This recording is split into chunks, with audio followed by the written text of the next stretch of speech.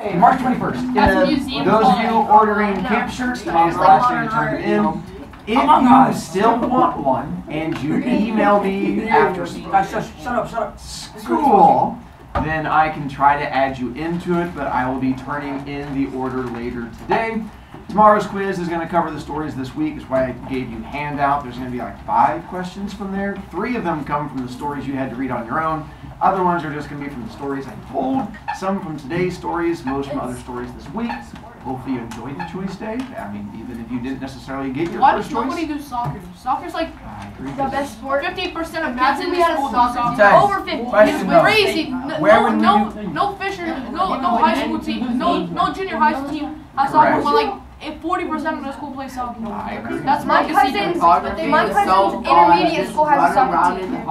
Why don't we have our own? No one in here wants to have I- soccer. I found it at No, I would be the one to So make we have a golf team but no soccer team. Yeah, how does that happen? Exactly. No, quiz golf. There's so much better. Why does it matter if anyone We is have a volleyball team but no soccer team. Well, then who are you playing against? Well, no, there's no one. Just make soccer teams No at one every in school. Hamilton County has a soccer team. shut up. So there's no one to They can play make one. if we had a team. Just like, no, wait, wait, wait, Mr. Broviak, I've heard that like teachers go to like an organization like the whole county. We could like, oh, actually invite, yeah, Sure. invite soccer. Oh my goodness. Actually, Thank you much. you can go back to Dorothy Connection and soccer. Uh, see, we are getting close to being done. Let's knock out three people here real quick and then we can, oh, we're almost done done with you guys. We're not. I knock out. That's it. And we're gonna go into, again, if you are needing the blue sheet answers on there, the blue sheet answers there. Wait, so, so I've you don't now care? handed this out to you and. Bro, I just don't have popcorn. our stories for today. So we're gonna get to one about a boy who makes a poor choice and then one about a girl who makes a poor choice. Our first one is about a kid named Phaethon. But before I get to Phaethon, with Apollo, his main job that he had was the whole driving the sun chariot across the sky. Here's how they thought this worked. Ooh, was the body of water in the middle? Mediterranean Sea, And so they thought that they had a giant mountain on one side and a giant mountain on the other side, and Apollo had his own big castle on one of the mountains.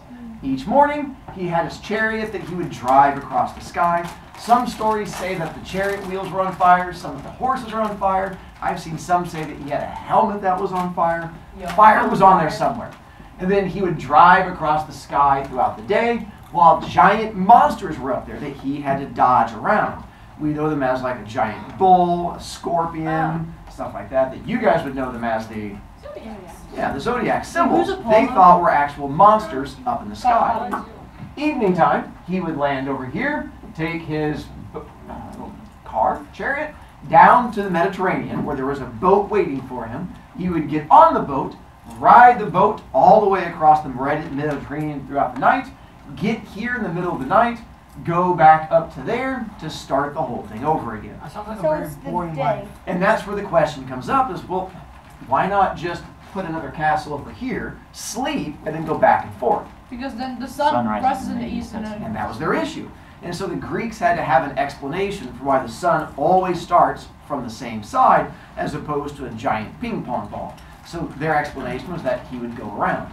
As you pointed out, it was a boring life and it was nonstop. It was a 24 hour job, which Apollo did not like. Because what was the other thing he was the god of? chasing women. And this really cut into his ability to flirt with women. So, a few hundred years to, into his whole job, he decides to retire. He's like, I'm done driving this whole sun chariot thing. I want to spend time going and flirting with women. That is way more fun for me. So he goes and talks to a Titan friend of his, a guy by the name of Helios, Gesundheit, who is just random Titan. And he goes, Would you like to get promoted? And Helios is like, How do you mean? He goes, Well, I'm going to step down from driving the sun chariot. Would you like to step up and take over? Helios says, Yes, that's awesome. Drawback is, Helios had recently fallen in love with a human girl and started a family. And Apollo's like, Well, you're just going to have to ditch on them because this is pretty much a full time thing. And Helios is like, Sometimes you have to sacrifice for the job.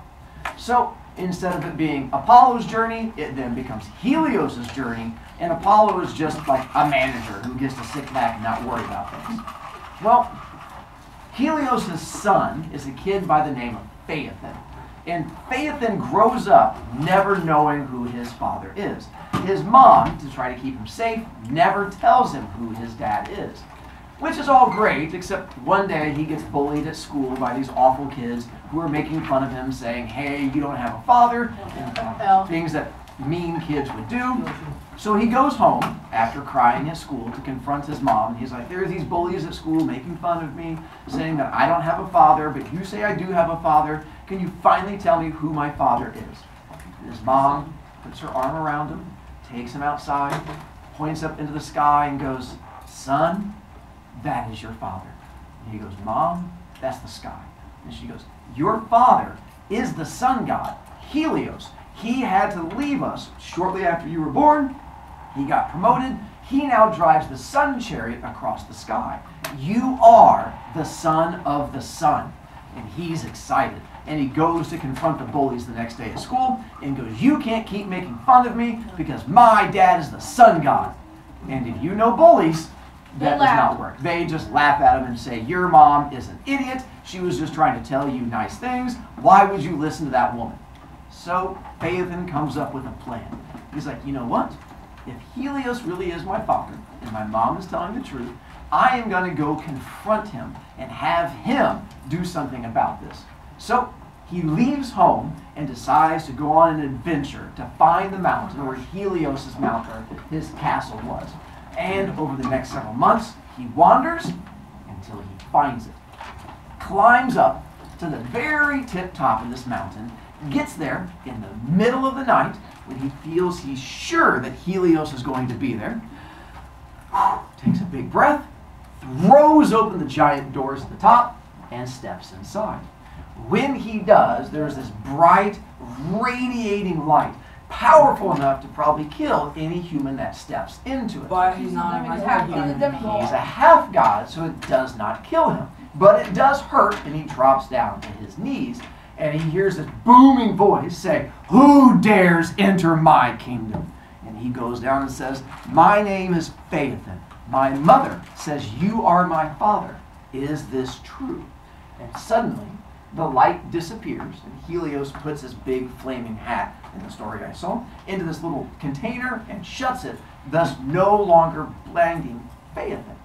And as Phaethon's eyes readjust, he can see this gigantic titan sitting in a throne, and he reaches out his hand and goes, Phaethon, I am your father. And Phaethon gets all excited. And later on, they put that into a movie. Then Helios goes, Phaethon, I'm sorry I've not been here for you. I got promoted right after you were born. I had to choose my job. I feel bad I've missed all of your birthdays. So I'm going to make it up to you. I'm going to give you one wish of whatever you want. You get your choice of anything you want, and if I can make it happen, I swear on the river Styx, it shall be so. What do we know about that? And so be it. This excites Phaethon. And he's like, oh, yeah. He does a little sh- sh- sh- He's like, what is it I could and he realizes he could have his dad go down and confront the bullies. He could have his dad beat up the bullies. But then he realizes if Helios really is his father, there is something he can ask that only this God can allow him to do that no other God could allow Oh, ride on the chariot. He's gonna ride on the chariot. He wants to ride the oh, Well, chariot. So he looks at Helios and goes, Dad, I want to drive your chariot for one day. And Helios goes, Do you want to ride in my chariot? And he goes, No. I want to drive your chariot. I want to be the one to go across the sky, and then I can like spell my name in the sky with the sun, and I can look down at the bullies and go, and I can taunt them. That's what I want. And Helios goes, No. He goes, Well, he goes, Yeah, uh, that, that can't happen because like you're like wee big and I'm like yay big, uh, and the horses are really powerful and strong, and there's these monsters that are up there. If you do this, you are going to die. Well, Phaethon is a teenager. Do teenagers make good choices? No. And he goes ahead and embraces it. And he pouts. And he was like, You promised that I could do this. And if you go back on this promise, eh. And so they end up arguing until Helios's alarm goes off that says we need to start the day. And Phaethon refuses to back down, and Helios has to let him, even though he says, You are going to die. You are my son. I love you. Please don't. And Phaethon goes, Blah, blah, blah, blah, blah, old man, and runs out to the garage and grabs the car keys. And he is excited to drive his dad's new car and he sees these gigantic horses and the reins are so big he can't even like hold on to them he has to like put both hands around one gigantic rein. He's like snapping it. He's like yeah horses! And it works. And it shoots off into the sky with him loving every moment of it. And helios behind him screaming and off he goes. And it works. He ends up driving out into the sky and he's looking down and he can see the bullies down on earth and he is having the time of his life. Ooh. Is anyone in here a Scorpio with your sign? Me. Do you know what that constellation is? No. Oh, it's a scorpion.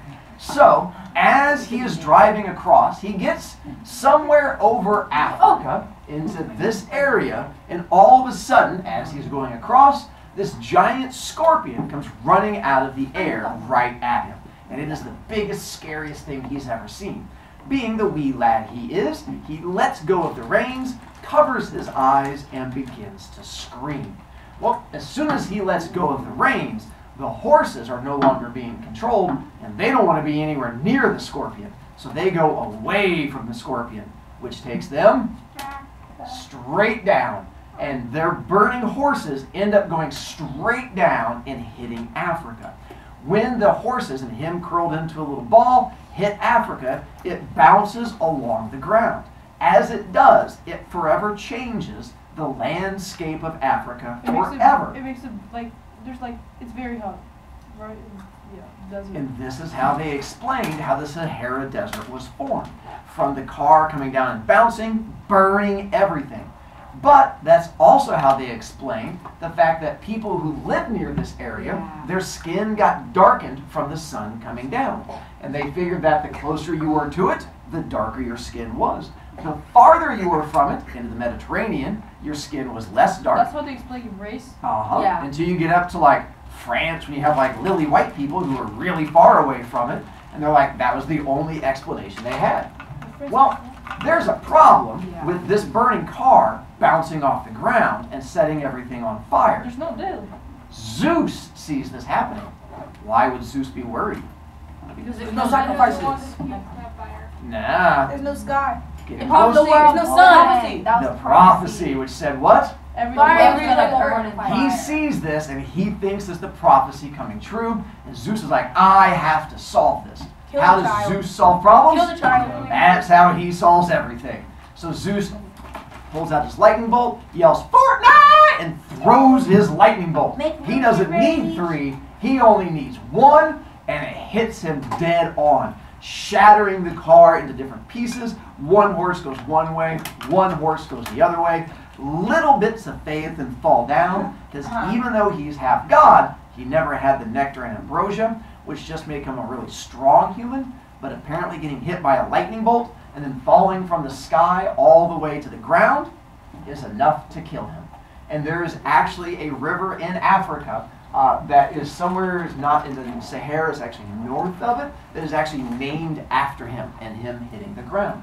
And this became their sort of explanation story for the Sahara Desert, how people have different skin colors, and anytime your kids don't listen to you and they get sassy, you would be like, oh, have you ever heard the story of Phaethon, the little boy who didn't listen to his parents?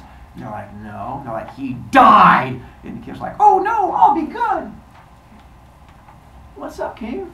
Uh, how did Apollo? I mean, the other guy get the sun chariot back? Obviously, he had to get a new sun. Squirrel! So, as we go on from there, those of you who are like girls who say, hey, them boys are stupid, no.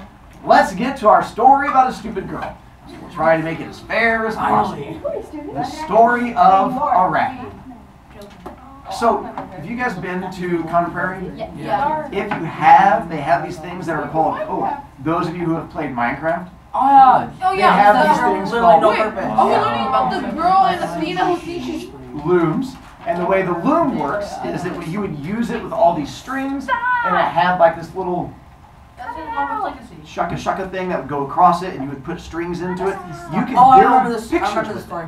So, like this is a tapestry, and it required an actual artistic skill to create it to put the strings in there. Like back over here behind where Jolie is, my big Spider-Man thing. That same idea where you use strings to build a thing. Well, there was a girl by the name of Arachne, this teenage girl, and she was really good at weaving. She was so good at weaving that people would actually show up to watch her do it. She would have her big loom sitting out in the middle of the area. People would come around her. They would put on like Arachne jerseys and cheer her on because, again, kids didn't have anything else fun to do. And they thought it was really exciting to watch her create these beautiful masterpieces. She was so good at it, people would compliment her and go, you know what? You must have been taught by the gods because there is a god of weaving, also of war and wisdom, and her name is Athena. Athena. And they would go, Were you trained by Athena? Because we've never seen a human be this good at it. That infuriated Arachne. She was like, No, no god has ever taught me. I taught myself. I am naturally good at what I do. Actually, not only has a god not taught me, I'm better than Athena. And you know how I know I'm better than Athena? Because I just said it, and she's not here. what do you think about that? That And all the people are like, dang, she's right. She did just say she's better than Athena, and I don't see the god here. Maybe she's correct. Well, this rumor starts to spread until who hears it? Athena. Naturally. But Athena is not as evil as some of the other guys. So Athena's like, all right, maybe this girl's confused. Sometimes teenagers make poor choices. I'm going to give her a chance. So she comes down to earth, takes the form of an old woman, and then goes into the town where Arachne is. And sort of waddles up to her and she's like, hey, dear, you're really good at doing that. Arachne goes, thank you. She goes, hmm, I bet you learned that from one of the gods and you have to give them credit. And Arachne's like, no, old woman, no god taught me how to do this. I learned how to do this on my own. In fact, I'm better than the gods, random old woman who came into my village. And that's at that point, she goes, you know what? If Athena was here in front of me, I'd challenge her, and I bet she'd back down. Athena goes, game on. Grabs her face and goes, rip, pulls it off, and it turns out it's her in front of them. She does not go into full form. She just, but I assume if you all of a sudden, if you're back in this time and you watch a woman go rip and pull off all of her old woman disguise, or all of a sudden it's a woman standing there, you're not gonna be like shenanigans. so they believe it's probably gonna be Athena. And Athena's like, girl, it is Athena. I'm right here in front of you. I think it's time you apologize. I will forgive you. I'm one of the not. And Arachne goes, shut your face. She goes, you know what? If you think you're better than me, now you're in front of me. Why don't you and I have a weave off? And all of a sudden, the crowd goes wild. And they're like, weave off, weave off. And a bunch of the girls grab their hair and go, no! Oh, different kind of weave off. And they get all excited. So Athena goes, done. And she reaches in her pocket and pulls out her pocket loom and throws it on the ground. And she goes, girlfriend, it's on. And a whole bunch of people come running out of the houses and they start putting on their Athena jerseys. And they're like, oh, this is the best day ever. And it becomes this giant weaving competition between Arachne and Athena. And Athena goes, all right, we will both create a picture and we will let the crowd decide to see who is better at it. Let's make our pictures something about the gods. Whatever you want, we're going to do it about the gods since you have challenged a god to a battle. And they go, all right. So they both tie their hair back and they're like, all right, let's get it on. And like all of them put the string and they're like, shaka, shaka, shaka, shaka, shaka. And sweat is coming down and the crowd is cheering. They're like, I wish we had something more exciting to watch. But they're watching this big thing happen. Well, Athena, in hers, ends up doing this picture of all the gods doing nice things. Like Prometheus bring fire down to mankind, uh, the battle between her and Poseidon to bring food to the city of Athens, and any other nice things she can think of. And she works it in there, and it looks amazing. And the people on her side are like, Girl, you got no friends, you know what's going on? And then she looks over at Arachne's, and two things happen. One, she sees that Arachne is also making pictures of the gods, but her pictures are of gods doing embarrassing, horrible things, like Kronos eating all of his children, Dionysus' mom being destroyed by Zeus, and any other story that she can think of that embarrasses the gods, which is awful and infuriates Athena. But to make it worse, Arachne's better. And not like a little bit better, but like hands down better. And Athena loses it. Not only is this girl sassy, not only is she insulting the gods, but on top of it all off, she's better than she is. So Athena, in a fit of rage, picks up her loom, goes over to Arachne, and just starts to beat her with the loom. Little bits of it go flying, it starts shattering, the crowd starts screaming, Arachne curls into a ball. There's like froth coming out of Athena's mouth, and she's like, You're a disrespectful little teenager, and no one left. And she's going like, Yep. And the crowd freaks out. And all of a sudden, Athena's in the middle of beating this child, and is like, Oh, and looks at the crowd and is like, Hey, and then puts the loom down, and she goes, Um, oopsie. Uh, kind of lost my cool there. And the crowd is just staring at her with giant eyes. And she goes, Um, I apologize. Probably shouldn't have done that. Kind of a bad thing. But Arachne's not dead. But she has just been beaten by a god in front of all of her fans and friends. And she is embarrassed. So while Athena talks to the crowd, Arachne, in a fit of embarrassment, pulls all the string she can off of her loom and then goes over to this nearby tree, crawls up the tree with the string, and starts wrapping it around her neck, throws it over one of the limbs, and hangs herself in front of this crowd. Athena doesn't see it happening. She's talking to the crowd, They're like, Turn, no, you, first. She's like, I know. I do like, no, Turn. She's like, why are you guys all freaking out? What's going on? Ah! And she sees this girl hanging behind her, and Athena feels bad. And she walks over to Arachne and she goes, Dear, you're insulting and you made a poor choice, but you are really good at weaving. You don't deserve to die for what you did. I am not going to let you die this day. But you also don't get to be unpunished because you did insult the gods. So I am going to take away your right to be a human. But because you're so good at weaving, you will weave for the rest of eternity. And all of your descendants will weave for the rest of eternity. So she ends up turning her into, A speeder. And this is where the first spider comes from. And so that way, she gets to weave for the rest of her life. And the scientific name for a spider is Arachnid. And so that comes from arachne, is where we get the word arachnid. So that is our story of Arachne and the idea of getting into a fight with a god and the fact that sometimes teenagers don't make good choices. Ah. Mr. And tomorrow we'll take a quiz.